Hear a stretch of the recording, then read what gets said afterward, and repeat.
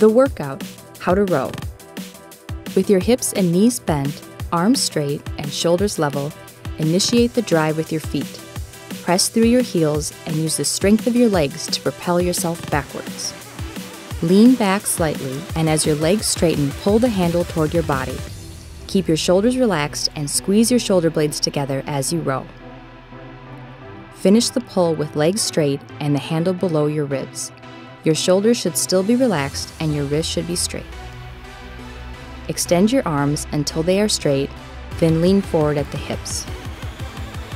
Once your hands have cleared your knees, allow your knees to bend and gradually slide your seat forward. Repeat for time or distance.